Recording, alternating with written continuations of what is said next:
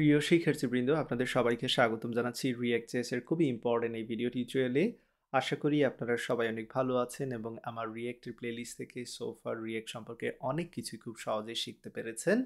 এই ভিডিও টিউটোরিয়ালে খুবই ইম্পর্টেন্ট একটি বিষয় নিয়ে আলোচনা করব, সেটি হচ্ছে রিয়েক্টের ফর্মকে কীভাবে ভ্যালিডেট করতে হয়। অর্থাৎ ইউজার যখন ফর্মে ইনপুটগুলো দিবে, তখন কীভাবে আমি ভ্যালিডেশন চেক আপ করতে পারি, সেটা আমরা শিখব। তো এক্ষেত্রে আমরা একটি লাইব্রেরি ব্যবহার করব, অর্থাৎ প্যাকেজ ব্যবহার করব। আমরা শিখব কীভাবে ফর্মিক ব্যবহার করতে হয় এবং সেই সাথে আমি আপনাদের ইউ প্যাকেজ সম্পর্কে ধারণা দেওয়ার চেষ্টা করব।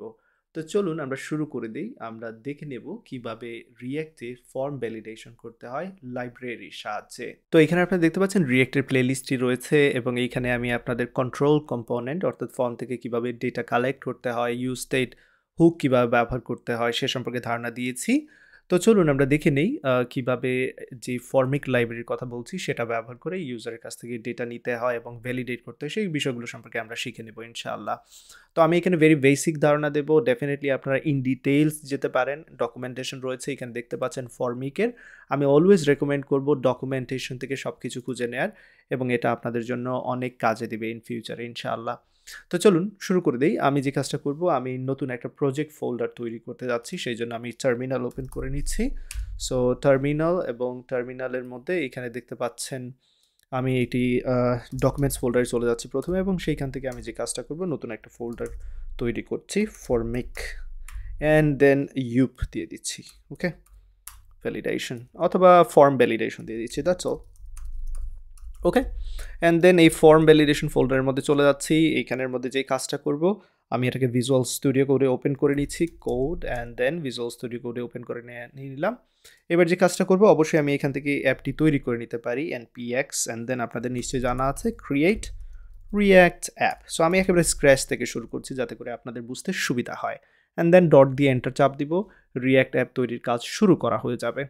তো আমার এখানে যা যা করার দরকার আমি করে নিয়েছি, এইদিকে এটা নিয়ে আসব এবং আমি যে ব্রাউজারটা রয়েছে সেটাকে আরেকটু এইদিকে নিয়ে আসি যাতে করে একসাথে আমি ব্রাউজার এবং ভিজুয়াল স্টুডিও কোড দুইটি দেখতে পারি ওকে রাইট এবার চলুন কাজ শুরু করে দেই। তো অলরেডি আমাদের রিয়াক্ট অ্যাপ রান হচ্ছে স্টিল আমাদের একটু সময় নিতে হবে বাট সেই ফাঁকে আমি যে কথাটা ইম্পর্টেন্ট কথাটা বলতে চাই, আপনারা যদি ফর্মিকে চলে আসেন এইখানে যখনই আপনারা ফর্মিক সাইটটাকে সার্চ করবেন এবং গেট স্টার্টে দিবেন সেই ক্ষেত্রে টিউটোরিয়ালে চলে আসতে পারেন এবং টিউটোরিয়ালে এখানে আপনাদের এক্সপ্লেনেশন দেওয়া আছে যে এটা কীভাবে ব্যবহার করতে হবে। ইন ডিটেলস দেওয়া আছে এবং আশা করি সেটা আপনারা অবশ্যই বুঝতে পারবেন। তো যাই হোক, আমাদের রিয়াক্ট অ্যাপটা তৈরি করা হয়ে গেছে। এবার আমরা সেটাকে রান করব। এখানে আমি এনপিএম স্টার্ট দিচ্ছি। লেটস হোপ যে সব কিছু ঠিকঠাক মতো রান হচ্ছে। এবং দেখতে পাচ্ছি রিয়াক্ট অ্যাপ রান অলরেডি কাজ শুরু হয়ে গেছে এবং এখানে আউটপুট দেখতে পাচ্ছি। ফাইন তো আমরা যে কাজটা করব, এখানে কিছু জিনিস আমি সরিয়ে নিচ্ছি। একেবারে সিম্পল রাখতে চাচ্ছি শুরুর দিকে যাতে করে আপনাদের বুঝতে সুবিধা হয়। আমি পুরো হেডারটাকে সরিয়ে নিচ্ছি অ্যাপ থেকে এবং এইখানে যে কাজটা করব, আমি দিয়ে দিচ্ছি welcome okay so make sure সব কিছু ঠিকঠাক মতো রান করে এবং এখানে আমি যে কাজটা করব রিয়েক্টকে ইম্পোর্ট করব ইম্পোর্ট করে নিচ্ছি এবং এখানে দেখতে পাচ্ছি ওয়েলকাম দেখাচ্ছে। পারফেক্ট সো আমাদের অ্যাপ পারফেক্টলি রান হচ্ছে। এবার যে কাজটা করব, একটি কম্পোনেন্টস ফোল্ডার তৈরি করছি এবং সেই কম্পোনেন্টস ফোল্ডারের মধ্যে সাইন আপের জন্য আমি জাস্ট একটি ফর্ম তৈরি করতে যাচ্ছি। So sign up dot JS নামে একটি কম্পোনেন্ট তৈরি করছি। কম্পোনেন্টের বেসিক স্ট্রাকচার তৈরি করে নিলাম। এবার সাইন আপ থেকে এখান থেকে লোড করতে যাচ্ছি। চলুন চলুন সেই কাজটা করে নিই আমরা। Sign up sign up definitely spelling এখানে ঠিকঠাক রাখতে হবে। অ্যান্ড দেন আমাদের ফর্ম এবার তৈরি করার কাজ শুরু করে দেবো। দেখতে পাচ্ছি সাইন আপ কম্পোনেন্ট এখানে দেখা যাচ্ছে। পারফেক্ট কীভাবে ফর্ম তৈরি করতে হয় ফর্ম থেকে ডেটা নিতে সেটা আপনারা অলরেডি দেখে নিয়েছেন। সো একটু রিপিট করব এখানে। দেন আমরা সেই কাজটাকে কি করব? দেখব ফর্মিকের সাহায্যে কীভাবে সিম্পলিফাই করা যায়। প্রথমে আমরা ফর্মিক চারা করব অ্যান্ড দেন ফর্মিক সহ দেখব যে করলে কীভাবে সেটাকে সিম্পলিফাই করা হচ্ছে। তো চলুন, আমি যে কাজটা করতে যাচ্ছি, আমি এখানে সাপোজ ইমেল অ্যান্ড দেন আমি এখানে থেকে নেম ইমেল এই দুইটা নিতে চাচ্ছি ফর এন এক্সাম্পল তো চলুন এই দুইটা ভ্যালিডেশনটা কীভাবে করতে সেটা আমরা দেখে নিই ভেরি কুইকলি ওকে চাইলে আমরা ইমেল নেম পাসওয়ার্ড এই প্রত্যেকটা জিনিস নিতে পারি সাইন আপের জন্য। তো ধরা যাক হ্যাঁ আমি এরকমই প্ল্যান করে নিচ্ছি, আমি তিনটা জিনিস নিতে চাচ্ছি। Name email and password okay of course email বানান এখানে ঠিক করে নিচ্ছি। পাসওয়ার্ড দ্যাটস অল তো ফার্স্ট অফ অল আপনাদের নিশ্চয়ই জানা আছে, আমরা যেহেতু ফর্ম তৈরি করতে যাচ্ছি, আমি এখানে যে কাজটা করতে যাচ্ছি, এখানে এইচ টু এর মাধ্যমে বলে দিচ্ছি যে user sign up user sign up and then নিচে আমার ফর্মটা আমি তৈরি করতে যাচ্ছি এই জায়গায় ফর্ম ওকে ফর্ম আমাদের রেডি হয়ে গেল, এবার আমি যে কাজটা করছি, এটাকে একটু নিচের দিকে নিয়ে আসি, যাতে করে আপনার দেখতে সুবিধা হয়, এখানে কোনো অ্যাকশনের দরকার নেই। তো ফার্স্ট অফ অল আমি একটি ডিপ তৈরি করে নিচ্ছি, সেই ডিপের মধ্যে আমি একটি লেভেল নিচ্ছি। লেভেলটা হচ্ছে নেইমের জন্য, তাই এখানে আমি নেম দিয়ে দিচ্ছি, নেইম। অ্যান্ড দেন শেষের দিকে আমাকে একটা ইনপুট ফিল নিতে হবে এই জায়গায় ইনপুট ফিল নিচ্ছি, এটা হচ্ছে নেইমের জন্য। সো এই জায়গায় আমি বলে দিচ্ছি ID name and then name equal name দিয়ে দিচ্ছি এখানে দ্যাটস অল ওকে অবশ্যই আমাদের ইনপুট ফিল্ডটি চলে আসার কথা এবং দেখতে পাচ্ছেন এখানে চলে এসেছে। দেন আমরা কি কি করি এখানে যে ইনপুট নেওয়ার জন্য? ডেফিনেটলি আপনাদের জানা আছে, আমরা কি করি? যখনই কোনো কিছু চেঞ্জ করি, আমাদের অন চেঞ্জ এটা কল হয়। তো এই অন চেঞ্জকে হ্যান্ডেল করার জন্য আমরা নর্মালি যে কাজটা করি, একটি ফাংশন তৈরি করি, এখানে নাম দিচ্ছি হ্যান্ডেল চেঞ্জ তো এই ফাংশনটি আমার তৈরি করতে হবে, সেই কাজটা করে নিচ্ছি const handle change so handle change ফাংশনটি আমার তৈরি করা হয়ে গেল এবং এইখানে চেঞ্জ করার পর যখন চেঞ্জ করব ইভেন্ট কল হবে এবং সেই ভ্যালুটা ইভেন্ট ডট টার্গেট ডট ভ্যালুর মধ্যে থাকবে। সো এতটুকু কাজ আমরা অলরেডি জানি, এটা নতুন কোনো কিছু নয়।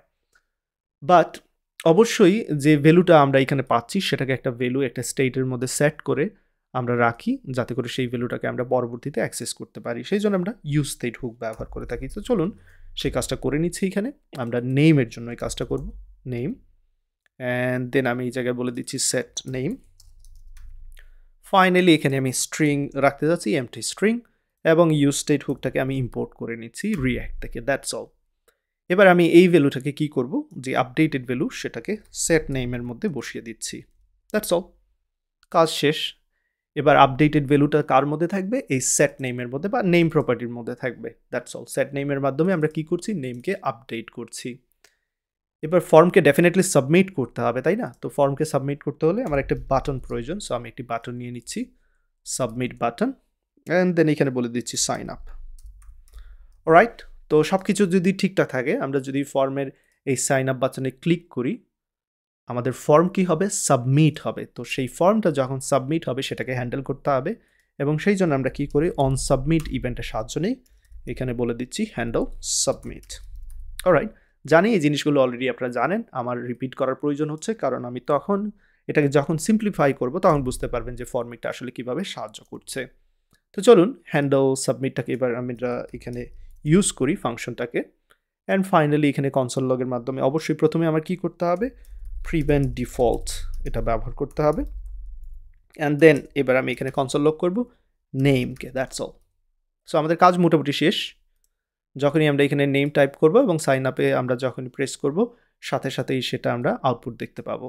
সো সাপোজ এখানে আমি আমার নাম দিচ্ছি সাইন আপ দিচ্ছি এবং নামটা দেখতে পাচ্ছেন পারফেক্টলি সো এটা কাজ করছে। বাট আমরা কন্ট্রোল কম্পোনেন্টে শিখেছি যে জিনিসটা মনে আছে আপনাদের, যে এইখানে যে স্টেটটা রয়েছে সেটার সাথে আমরা যে ইনপুট ফিল্ডটা রয়েছে সেটাকে বাইন্ডিং করে দিই, অর্থাৎ একত্রে করে দিই কন্ট্রোল কম্পোনেন্টের মতো। অর্থাৎ এই ইনপুট ফিল্ড কি করছে? এই মুহূর্তে নেমকে আপডেট করছে, যখন এই নেম আপডেট হবে, সাথে সাথে সেই আপডেটেড ভ্যালুটা আবার এইখানে চলে আসবে। সো একটা ভ্যালু প্রপার্টি আমরা ব্যবহার করতে থাকি। অ্যান্ড দেন এই ভ্যালুটা কি? আসলে আমাদের যে নেম সেট সেটাই এখানে বসবে। তো আমরা একটি প্রপার্টির জন্য কাজ শেষ করে নিয়েছি, একটি ফিল্ডের জন্য। এবার কপি পেস্ট করতে হবে। নিশ্চয়ই আপনাদের জানা আছে কী কী করতে হবে। যদি আমি এখানে ইমেল এবং পাসওয়ার্ড নিতে চাই, সেক্ষেত্রে আমাকে এখানে ইমেল ব্যবহার করতে হবে। এইখানে আমার বলে দিতে হবে সেট ইমেল অ্যান্ড দেন এইখানে আমার বলে দিতে হবে পাসওয়ার্ড এইখানে বলে দিতে হবে সেট পাসওয়ার্ড দ্যাটস অল তো তিনটি স্টেট নেওয়া হয়ে গেল। এবার এক্স্যাক্টলি এরকম আমি তিনটি ফাংশন তৈরি করতে পারি। আমি হ্যান্ডেল এটাকে নেম চেঞ্জ দেওয়াটা বেটার ছিল। হ্যান্ডেল নেম চেঞ্জ এটাকে দিচ্ছি handle email change and then এইখানে অবশ্যই আমি সেট ইমেল দিব অ্যান্ড ফাইনালি আমি হ্যান্ডেল পাসওয়ার্ড চেঞ্জে দিয়ে দিচ্ছি। তো আমরা অবশ্যই এটাকে অবজেক্টের মধ্যে রেখে সবগুলোকে একসাথেও ইউজ করতে পারতাম বাট যাই হোক, আমি এখানে সিম্পলিফাই করার চেষ্টা করছি সেট পাসওয়ার্ড দ্যাটস অল এবার এগুলোকে ব্যবহার করতে হবে। প্রথম কথা হচ্ছে যেহেতু এটা হ্যান্ডেল নেম চেঞ্জ নামে ফাংশন তৈরি করেছি, সেটাকে এখান থেকে ব্যবহার করব। দেন কপি পেস্টের বিষয় এবার। এক্স্যাক্টলি এতটুকু অংশ আমি নিচের দিকে পেস্ট করে দিচ্ছি। এটা হচ্ছে ইমেলের জন্য। সো এইখানে চেঞ্জ হবে, এইখানে ইমেল হবে, এইখানে ইমেল অ্যান্ড ফাইনালি এখানে ইমেল এইখানেও ইমেল হবে। সো চলুন এই কাজগুলো আমরা করে নিই ইমেল অ্যান্ড দেন এইখানে এবার এটা নেইমের জায়গায় ইমেল বসাচ্ছি হ্যান্ডেল ইমেল চেঞ্জ হবে। গুড আমরা অনেকখানি কাজ শেষ করে ফেলেছি। এবার লাস্ট ওয়ান পাসওয়ার্ডের জন্য একই কাজ করতে হবে। সো এইখানে আমি নিচের দিকে পেস্ট করে দিয়েছি সব কিছু এই জায়গায় পাসওয়ার্ড হবে, এইখানে পাসওয়ার্ড এই জায়গায় পাসওয়ার্ড অ্যান্ড ফাইনালি এখানেও পাসওয়ার্ড হবে, এই জায়গায় পাসওয়ার্ড হবে। চলুন এইগুলোর ভ্যালু চেঞ্জ করে দিই অলরাইট অ্যান্ড আমার মনে হচ্ছে এই জায়গাতেও পাসওয়ার্ড দিতে হবে ডেফিনেটলি হ্যান্ডেল পাসওয়ার্ড চেঞ্জ ফাংশনের নাম অ্যান্ড ফাইনাল ওয়ান আমার মনে হচ্ছে এই জায়গাতেও আমরা মিসিং করেছি, এটাকে পাসওয়ার্ড লিখে দিতে হবে। সব কিছু যদি ঠিকঠাক থাকে, এবার আমরা তিনটি ইনপুট ফিল্ড দেখতে পাচ্ছি নেম ইমেল অ্যান্ড পাসওয়ার্ড আমরা তিনটির ভ্যালুই অ্যাক্সেস করতে পারব, যখনই ফর্ম সাবমিট হবে। তো আমি চাইলে এই জায়গায় কাজ করতে পারি। সেটা হচ্ছে যে আমি এখানে এটা নিউ ইউজার নামে একটি ভেরিয়েবল তৈরি করে নিচ্ছি। তার মধ্যে অবজেক্ট আকারে আমি এই নেম ইমেল অ্যান্ড পাসওয়ার্ডকে রেখে দিচ্ছি। জাস্ট প্রিন্ট করার জন্য দ্যাটস অল এবার আমি এখানে কনসোল লগ নিউ ইউজার দেখব। রাইট অনেক হলো। এবার চলুন এটাকে রান করি। আমি এখান থেকে নেম দিচ্ছি। দেন একটি ইমেল অ্যাড্রেস সিলেক্ট করলাম। আমি পাসওয়ার্ড কিছু দিয়ে দিচ্ছি ডামি পাসওয়ার্ড অ্যান্ড সাইন আপে ক্লিক করার সাথে সাথে সেই ভ্যালুগুলো এখানে আমরা দেখতে পাচ্ছি। সো এতটুকু কাজ আমরা এখনও ফর্মিক ব্যবহার করিনি। ফর্মিকের সাহায্যে আমরা যে কাজটা করতে পারব, এই যে আমরা ইউজ স্টেট ব্যবহার করলাম দেন কন্ট্রোল কম্পোনেন্টে কাজ করলাম, এই কাজগুলোকে খুব সহজেই হ্যান্ডেল করতে পারব। অ্যান্ড দেন আমরা ইউপের সাহায্যে সেগুলোকে ভ্যালিডেটও করতে পারব। সো চলুন দেখে নিই আমরা কী কী করতে পারি ভেরি কুইকলি তো অনেক কাজ করেছি, আমরা এগুলো হচ্ছে ইউজুয়াল পদ্ধতিতে এবার ফর্মিক ব্যবহার করতে যাচ্ছি। সেই জন্য প্রথমেই আমার ফর্মিককে ইনস্টল করে নিতে হবে। তো অলরেডি দেখতে পাচ্ছেন, আমি এখানে ফর্ম ভ্যালিডেশন ফোল্ডারে রয়েছি। আমি ইনস্টল করে নিচ্ছি এনপিএম এর সাহায্যে। NPM install Formik and install হয়ে যাবে। ইনস্টল হয়ে গেলে আমাদের কাজ আমরা শুরু করে দিতে পারব। ফাইন তো আমরা প্যাকেজ ডট জেসনে চেক করে নিতে পারি যে ফর্মিক ইনস্টল করা হয়েছে কিনা। দেখতে পাচ্ছেন এখানে ইনস্টল করা হয়ে গেছে। এবার আমরা কাজ শুরু করে দিতে পারি ফর্মিকের প্রথম কথা হচ্ছে ফর্মিকের যদি আমরা ডকুমেন্টেশনে চলে যাই, এখানে দেখতে পাচ্ছেন আমি একটু বড় করে নিচ্ছি। সেক্ষেত্রে হয়তো আপনাদের দেখতে সুবিধা হবে। আমার মনে হয় এনাফ বড় হয়েছে। প্রথম কথা ফর্মিকের মধ্যে ইউজ ফর্মিক যে হুকটা আছে সেটা আমরা ব্যবহার করব। তো চলুন, আমরা এই ইউজ ফর্মিকটা আমরা এখানে ইম্পোর্ট করে নিচ্ছি।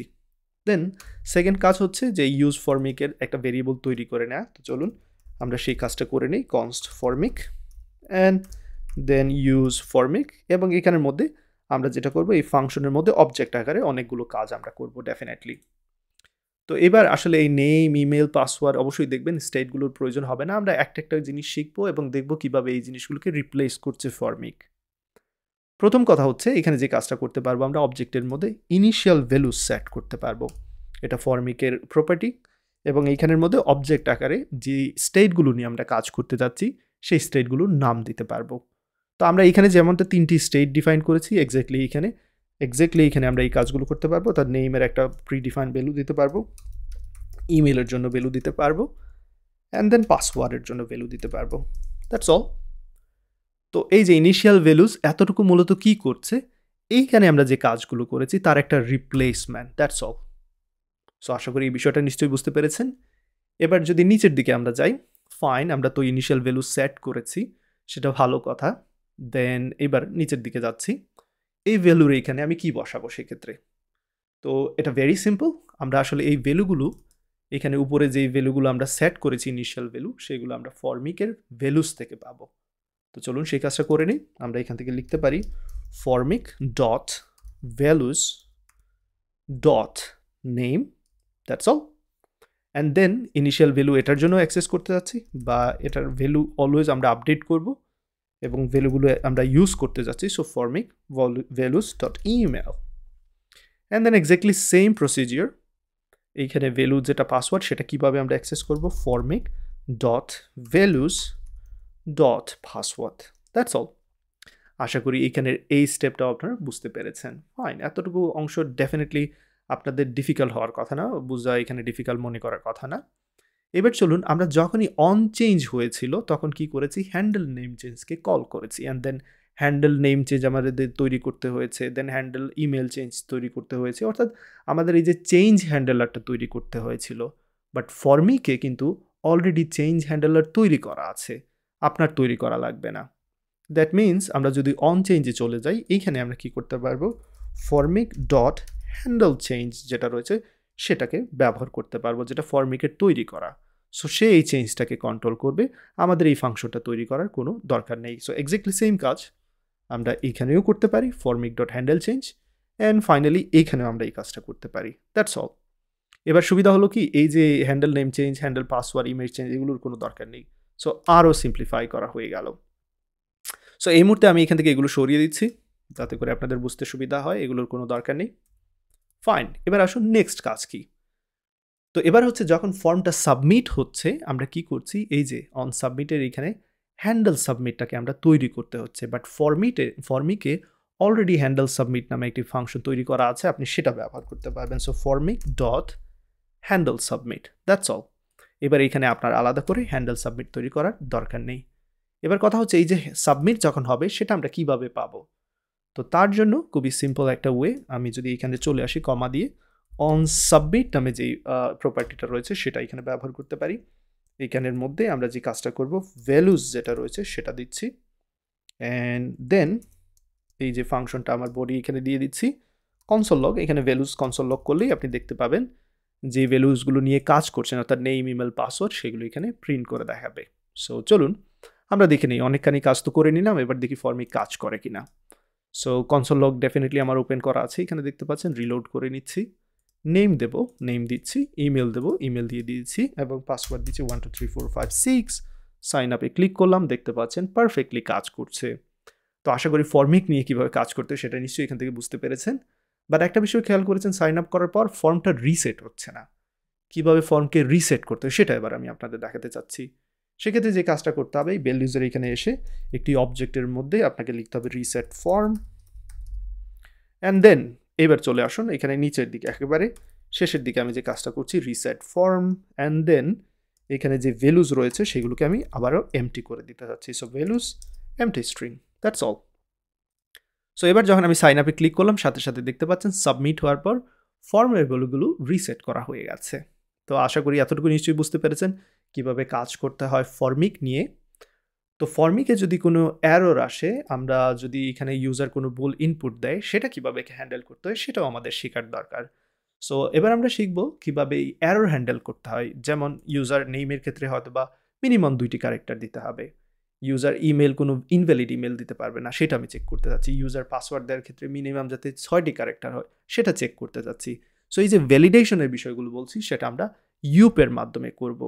তো চলুন আমরা সেটা দেখে নিই কীভাবে কাজটা করতে হয়। তবে সেটা আমরা পরবর্তী ভিডিও টিউটোরিয়ালে দেখব।